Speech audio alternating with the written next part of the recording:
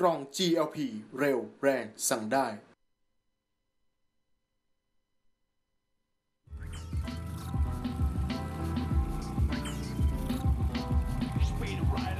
ครับขอต้อนรับคุณผู้ชมกลับเข้าสู่รายการ Speed Rider นะครับ ทาง Speed Channel True Vision 691 นะครับ แน่นอนกับรายการสดๆ นะครับ ทุกวันจันทร์ถึงวันศุกร์นะครับ วันนี้แน่นอนนี่ในเบรกที่เบรกที่ 4 แล้วครับนะครับ ก็ติดตามเราได้ใน True Vision 691 แล้วก็รวมทั้งใน Facebook นะครับ Facebook Live ที่เราไลฟ์ไปด้วยนะครับ เข้ามาดูแล้วก็อย่าลืมกดไลค์กดแชร์ รวมทั้งใครที่ดูผ่านทาง Speed Channel Official ใน YouTube นะครับ ครับ ก็เลือกไป live streaming ก็สามารถดูเราสดๆได้เหมือนกันก่อนอื่นเลยต้องขอบคุณนะครับ นิตยสารรายเดือน Fast Bike Thailand คิดถึงอะไรแต่งคิดถึง X Speed โซ่บิ๊กไบค์คุณภาพมาตรฐานต้อง DID และกล่อง GLP เร็วแรงสั่งได้ครับอะนะครับช่วงนี้ก็แน่นอนครับ ตอบ นะครับทาง YouTube ด้วยเอ้ยทางทาง Facebook ด้วยนะครับก็ทางรายการสดตรงนี้ด้วย อันนี้สดแล้วสดแล้วก็สดนะต้องบอกว่าครับสดกำลังสองสดนะสฮะดสดเลยอันเนี้ยนะครับเพราะว่าเราสดในทีวีด้วยในอ่าทูวิชั่นด้วย สดใน YouTube ด้วยสดใน Facebook ด้วย เพราะฉะนั้นสดสด คุณผู้ชมที่ดูอยู่ก็สามารถโทรเข้ามาได้ที่หมายเลข 02 530 9496ถึง98 รวมทั้ง SMS ที่ 482 7772 พิมพ์ 4 เว้นวรรคตามด้วยคำถามนะครับ รวมทั้งคำถามเข้ามาฝากเข้ามาใน ใน Facebook ไลฟ์ก็ได้นะครับ เราก็จะตอบไปด้วยเลย ต้องบอกว่ามุมกล้องของไลฟ์สดทาง Facebook จะเป็นมุมกล้องเดียวที่กล้องวางไว้เฉยนะครับใช่ แต่ว่ามุมกล้องทางทรูวิชั่นส์691 กับ YouTube เนี่ยคือเราจะมีการ switcher ไปมานะฮะอือฮึอย่างบางทีเนี่ยชมกันใน Facebook อาจจะแบบว่าเห็นแบบว่าดิบๆไม้แบบดิบๆกันเลเดิย นผ่านไปผ่านมาผ่านเดินมาผ่ก็จะได้เห็นว่ามัน real ไลฟ์สดจริงๆอะมาดู SMS หน้าจอกันเขาบอกดูคติ 821 ครับดีไหมครับ ขอทราบข้อมูลหน่อยครับ821 เป็นยังไงบ้างใช่ไหมอ่าอ้าวขี่มาแล้วเป็นไง ขี่มันสนุกสิครับ มันเป็นรถที่เนี่ยสนุกครับ แล้วก็ในเรื่องของใครที่กลัวในเรื่องของความร้อนของโคติเขาบอกว่า พี่ขี่แล้วมันจะร้อนไหมมันจะเหมือนกับตัวนี้ 821 นะครับ เป็นการขยับขึ้นมาจากมีตัวหม้อน้ำ เจ็ดกับหกใช่อืมมีหม้อน้ำแล้วนะครับ มีการระบายหม้อน้ำมีการระบายน้ำที่ดีขึ้น เครื่องยนต์ตอบสนองความสนุกสนานได้แบบ บอกว่ามันมาก ขี่เขาเรียกขี่ว่าสนุก มันจนแบบ เหมือนกับแต่มันไม่ได้โหดมากไม่โหดร้ายมากมายนะแบบแต่ว่ามันตอบ ก็ถือกับว่า คันเร่งเอาว่าติดสามมือ เกียร์เลยมันดิ้นพอสมควรนะเอาไปก็ต้องมีมันมีการสะบัดฟันสักตัวนะมีฟัด ฟัดทุกเกียร์เหมือนกันใช่นะเพราะรถมันเบา ขี่แล้วพอสนุก เป็น821 ขี่มันกว่าคนละเรื่องกับ 796 เลย โอ้โหต่างกันลิบลับนะครับใช่ ยิ่งมีระบบหม้อน้ำทำให้เครื่องยนต์มันมีสมรรถนะที่ดีขึ้น หมดปัญหาเรื่องความระร้บาอยนความไปร้อนเครื่องยนต์มันก็ทำงานได้เต็มที่ไงเพราะฉะนั้นตัวนี้ดีอ่านะครับแล้วก็ราคาก็ไม่ได้แพงมากมายนะครับอืมสามารถที่จะจับต้องได้แล้วโอ้ยราคามือสองดูคติ ราคามือสองนี่แบบเย้ายวนมากเลยนะ น่าจะสามกว่าใช่ๆนะครับจริงๆรถเพิ่งเปิดมาดีไม่เจนานเลเลยยมีนะ เพียบเลย ใช่ แปดสองหนึ่งเนี่ยมันกำลังดีสำหรับซีซีที่แบบว่าทีเดียวจบอะใช่แล้วก็ไม่ต้องไปมีสายดิ้นเข้ารนขยับขึ้นไปอีกแล้วครับ นะครับ รับสายก่อนมีสายเข้ามาคุณแทน สวัสดีครับคุณแทน ครับ สวัสดีครับสวัสดีครับว่าไงครับ รบกวนขอสอบถามการโมนิฟายไอ้มินจาสามร้อยด้วยครับมีจาสามร้อยจะทำอะไรอะครับ ครับเอาสก็เต็ปไหนดี ตอนนี้ผมผมขับอยู่มันได้ร้อยหกสิบแล้วมันแบบว่าแบบ สุดๆแล้วอะครับเลยอยากจะแบบว่าโมนิฟายไม่ได้สักสองร้อยอะไรโอ้เงี้ยคโหรับตอนนี้ทำอะไรไปบ้างรถตอนนี้ยังเดิมๆอยู่ครับเดิมๆตอนนี้ใช้น้ำมันออกเทนเท่าไหร่ครับ อะไรนะครับตอนนี้เติมน้ำมันออกเทนเท่าไหร่อ๋อ91ตอนนี้ก็95เติมพวก e ยี่สิบพวกอะไรเงี้ยครับ อ๋อขั้นแรกเปลี่ยนน้ำมันก่อนครับ เอาถ้าเอาแรงขอเป็น 95 นะ ครับอย่างแรกแล้วก็อย่างแรกตามครับ ด้วย อย่างที่บอกท่อกองกล่อง อืม ครับเอาท่อสักชุดกองเปลือยนะครับแล้วก็หากล่องมาใส่สักนิใช่ดหนึ่งใช่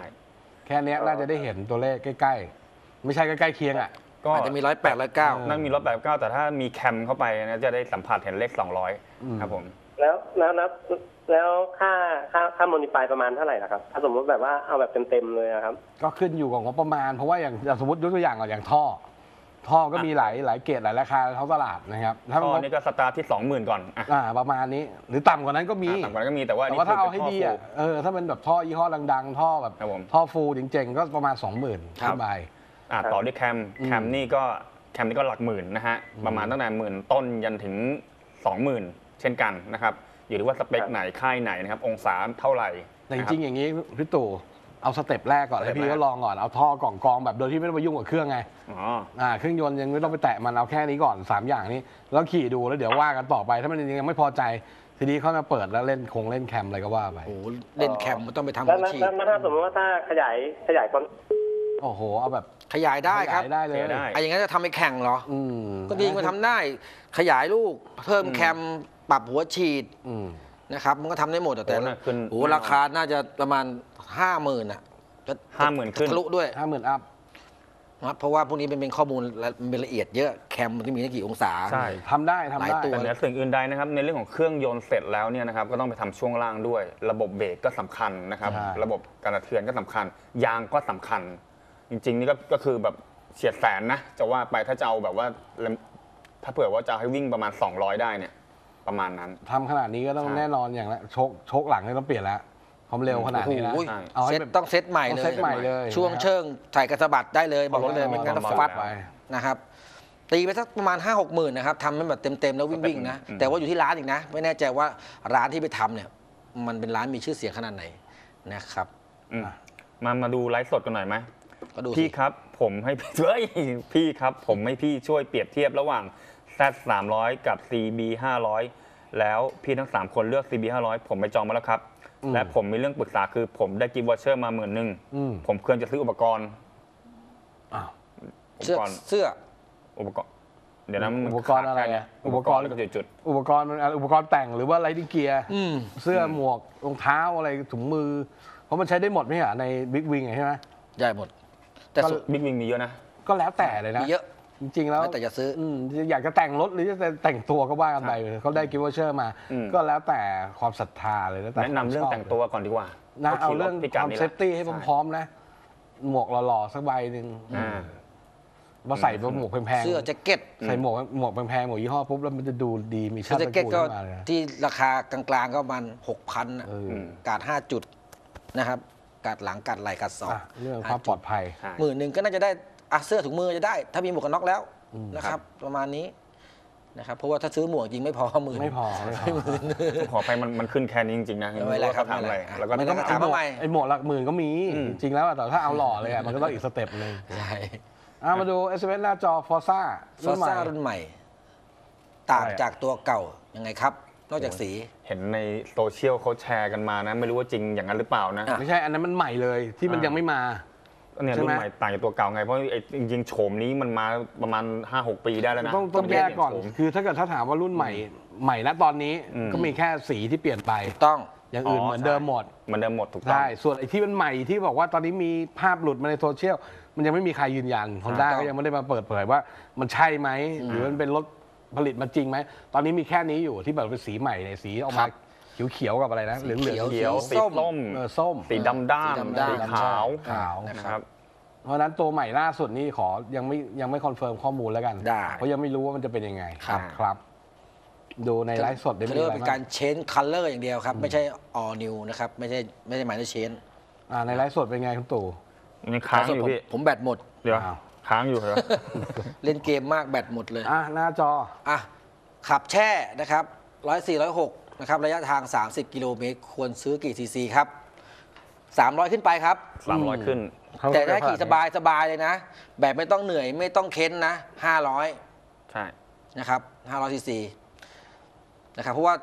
เครื่อง 300 ซีซีเนี่ยพอไปถึง 140แล้วเนี่ย มันจะเริ่มตึงแล้ว เครื่องยนต์จะเริ่มตึงแล้วแล้ว 60 นี่ยิ่งแบบแช่มาเครื่องมันจะสั่น แล้วมันจะมีอาการสะท้านที่มือเราขี่ยาวๆเนี่ย โอกาสที่จะมันเมื่อยแล้วมัน มือมันจะชาไงสะท้านขึ้นมาหนักๆถ้าเป็น 500ซีซีขึ้นไปเนี่ยกด 110 160เนี่ยยังสบายๆ เครื่องยนต์ยังรับแบบมันรับได้อัพมากกว่านั้น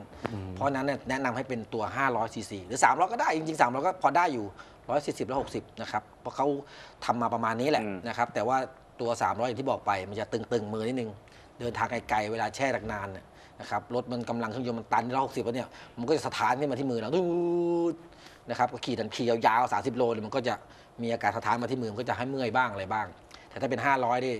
กด140นี่รถยังนิ่งอยู่เลยประมาณเนี้ยนะครัใช่บประมาณนั้นอ๋อเมื่อกี้นี่คำถามที่เขาบอกว่าได้ gift voucherอ่าเขานี่มีไง ตอบบอกว่าจำเป็นต้องใช้อะไรบ้างครับ อย่างเช่นพี่พี่ๆคิดว่าอะไรสำคัญที่สุดที่ควรติดตั้งก่อน ติดตั้ง ถ้าติดตั้งแปลว่าในส่วนของตัวรถละตัวรถละ ตัว อะ CB CBR ใช่ไหม CB 500 CB 500 CB เป็น naked อ่า naked ผมจะก็ซื้ออะไรดีแนะนำว่า ได้ gift voucher หมื่นหนึ่งตอนนี้ C- พวก CB เขาชอบไปเปลี่ยนเป็นแฮนด์ fat bar แฮนด์อ้วนแล้วก็ใส่เกียร์โยง อืมหล่อๆเกียร์โยง ใช่ แล้วก็ค่อยเก็บอีกสักพักก็ไปค่อยไปเปลี่ยนปั๊ม เปลี่ยนคาลิปเปอร์ เปลี่ยนสายถักอะไรต่างๆ อืม นะครับ ค่อยๆแต่งค่อยๆแต่งเกียร์โยงก็จำเป็นนะได้มาเดี๋ยวเผื่อออกทริปต่างจังหวัด รอนะ เข้าโค้งไปปุ๊บอ่าเออเท้าไม่เพราะส่วนถูมากเขาจะอย่างเงี้ยประมาณเนี้ยนะครับมาถึงก็ใส่เกียร์โยงแล้วเปลี่ยนแฮนด์ fat bar เป็นแฮนด์อ้วนแฮนด์สีอืมนะครับที่เหลือก็ค่อยไปเติมทีละนิดทีละนิด ก็ว่าไปเปลี่ยตานมโซ่ สีสเตอร์ สีเสื้อสเตอร์อลูมิเนียมอะไรก็ว่าไป แต่อย่างแรกถ้าจะให้หล่อเนี่ยนะแล้วก็นั่งขี่สบายๆอะผมว่าน่าจะเป็นที่ชุด riding position อะนะครับพักเท้าที่เป็นแบบเกียร์โยงแล้วก็อ่า handlebar ที่เป็นแบบแฮนด์อ้วน ความแข็งแรงมากกว่านะครับได้อยู่ ประมาณนั้น Ducati Scrambler ครับ น่าใช้ไหมครับหรือมีรุ่นไหนแนะนำครับก็ถ้าถาม Scrambler มาก็ตอบ Scrambler เลยนะครับ มันก็มีสองไซส์นะ Scramblerอืม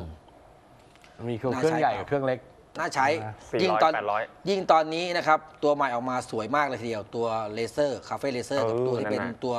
วิบากอะใช่ เขาเอา Scrambler ไปทำเป็นวิบากกระโดด กระโดดกระโดดเนินกระโดดทราย ซึ่งตัวนั้นน่ะไม่ได้แบบว่าจากสเปคเดิมนะ เพราะว่าเขามีการเสริมเสริมคานของเฟรมขึ้นมาอีกเพื่อความแข็งแรงเมื่อเผื่อว่าจะเอาไปโดดเหมือนกันใน ใช่ VTR นะครับ ตัว racer ก็อืมคาเฟ่เลเซอร์ก็รอรอหมอบนะครับหมอบมาเลย มีป้าย 54 ที่ท้าย ผมยังไม่รู้ว่าป้าย 54 คืออะไรยังไม่ได้ถาม แล้วก็มีปะกระจกอยู่ที่ปลายแฮนด์มาเลย อ่าใช่ ไม่ต้องไปซื้อเติมแล้วนะครับก็ถือตัวว่าพิเศษ ใช่ ถามน่าว่าเล่นรถถามว่ารถขี่ที่ขี่ดีนะ โอ้โหขี่สบายๆด้วยซ้ำไป มันเป็นรถที่ขี่ดีด้วยขี่ขี่สบายชิวๆอ่านะครับเครื่องยนต์ไม่ได้โหดร้ายเกินไป ขี่จะออกทริปก็ได้ ใช้งานในเมืองก็ได้เพราะรถไม่รถไม่ใหญ่ แต่มันเหมือนมันมาผิดที่ผิดเวลายังไงไม่รู้ มันเหมือนกับตัวแรกมาผิดที่ผิดเวลา ใช่เพราะว่าตัตัววแรแรกกออที่กออกมามาเนี่ยมันถูกจริงมันสามแสนกว่าบาทจริง แต่ว่ามันสไตล์มันยังไม่ใช่ เออไม่ตอนนั้นคนไทยเออยังยังไม่ฮิตไงยังไม่ฮิต ยังไม่รู้จักว่าไอ้ Scramble Scramble คืออะไร มันคืออะไรวะอันเนี้ย เพราะว่ามัน เครื่องยนต์ของมันอะค่อนข้างที่จะขัดกับตัวรถอืมครับในส่วนของตัวแรกว่าเครื่องยนต์มาทอร์กสูงมากนะฮะมันสามารถที่แบบจะเป็นรถที่ออกในแนวแฟตแท็กได้อะไรได้ รถที่ขี่ดีแต่ว่าสขี่ไตล์นุกของตัวรถมันไม่ใช่เออคราวนี้เขาเลย อะหาทางที่ใช่ก็คือเป็นสไตล์ทางฝุ่นทางเรียบมาด้วย ก็ผมใช่ เชื่อนะแยกประเภทให้เลยใช่ผมเชื่อว่าดูคติเหนื่อยที่สุดเลยกับรุ่นเนี้ยเหนื่อยเหนื่อยก็นี่ไง ก็เนี่ยก็ถึงก็พยายามเขียนแบบก็ถึงปรับรุ่นขึ้นใหม่ออกมาเนี่ยเป็นคาเฟ่ก็คือว่าเนี่ยเอา Scrambler นี่เป็นคาเฟ่ใช่ racer ให้มันจบไปเลยเออให้เป็นวิบากให้มันจบไปเลยไม่ต้องไปแต่งอะไรเองเพิ่มเติม ใช่ อาจจะเป็นเพราะว่าปีที่แล้วมาโชว์ปีที่แล้วเนี่ย Scrambler เนี่ยเขาทำผลิตตัวพิเศษขึ้นมาเป็นสไตล์ Paul Smart แล้วก็โดนวิพากษ์วิจารณ์อย่างหนาหูว่าเฮ้ยยกลายเป็นเขาเก็บกันนะแพงด้วยนะแต่ Paul Smart จริงๆเป็นรถที่ต้องซื้อมาเก็บใช่เก็บนะเพราะคือเป็นอย่างคน limited ที่ไม่รู้ story บอกเฮ้ยมึงเอา Scrambler มาทำเป็นสไตล์อย่างนี้ได้ยังไงเอยเออเอา Paul Smart มาทำใส่กับ Scrambler ได้ยังไงแบบมันดูถูก แต่บางคนที่ชอบก็ชอบไงใช่แต่คนที่ไม่ชอบก็ไม่ซื้อแต่แพก็งวิจารณ์ด้วยแล้วตอนนี้มันแพงด้วยจะบอกให้ใช่อืมอะมามีดูอะไรอื่นไหม SMS หน้าจอนะครับ Benelli 600 ครับ กับ CBR อ๋อ CB 650F 2017 ครับ ตัวไหนดีครับ เลือกไม่ถูกเลยอืมแหม Benelli ก็ option เยอะนะ ถ้าถ้าต้องเลือกสองคันนี้ระหว่าง Benelli กับ CB ของ Benelliก็ option เยอะ CB ก็ Benelli ต้องบอกว่าสีสันใหม่ Benelli เขาได้เรื่องของดีไซน์อืมใช่ดีไซน์เขาดีไซน์สวยนะครับแล้วก็เป็นรถที่ของที่ให้มาจากโรงงานครบๆเลยครบไม่ต้องทำอะไรเพิ่มแล้ว ใช่เป็น upside down ใช่ส่วนตัว CB 650F 2017เนี่ยก็ยังไม่ upside down แต่ว่ามันเป็นรถ ที่เป็นตลาดไงแต่ว่าแม้เครื่องยนต์มีการปรับเปลี่ยนเพิ่มแรงม้ามาให้ 4 ตัวใช่นะครับระบบไฟเอ่อ ECU ต่างๆ แล้วก็เรือนใหม่เป็นดิจิตอลคือว่าออกมาตอบโจทย์ที่มันที่ขาดที่หายไปอะอ่าทีนี้มาถามว่าถ้าสองตัวนี้เลือกตัวไหน ถ้าคุณชอบเป็นเรื่องของดีไซน์ความเป็นเอกลักษณ์นะครับที่สไตล์ naked พันธุ์แท้ที่เป็นเอกลักษณ์จริงๆเนี่ย Benelli เขาตอบโจทย์ว่าเขาเก่งในเรื่องของเรื่องของตัว naked มาก จะเห็นว่าตัว naked แต่ละตัวเขาจะ option มาเต็มเลย อ่า ใช่ ราคาก็ไม่ได้แพง และตอนนี้ศูนย์บริการก็มีเยอะอืมอะไหล่ก็หาได้ง่ายแล้ว ส่วน CB 650F เนี่ยโฉมอันนั้น รูปลักษณ์มันก็ยังไม่ได้เปลี่ยนแปลงจากเดิแต่มอันนั้นไม่ต้องพูดถึงเพราะมันรถตลาดอ่าของใช่แต่งรถขตองลาดเล่นเพียบถามว่าซื้อคันนี้แล้วจบปะล่ะไม่จบ ถ้าไม่จบ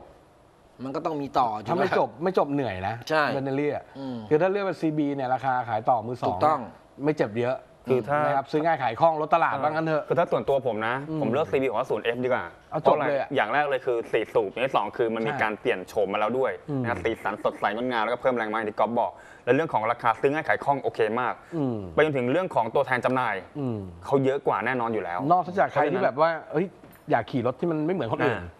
อยากลองถ้าไม่เหมือนคนอื่นก็ต้องไปจัดเบนเนเล่ไปครับแต่ว่าถ้าเผื่อว่าจะซื้อง่ายขายคล่องนะครับรถตลาดก็ต้อง CB ของศูนย์ F ครับผมใช่ ประมาณนั้น อะ พักเบรกโฆษณากันสักครู่เดี๋ยวช่วงหน้ากลับมากับเบรกสุดท้ายของรายการ Speed Rider ครับ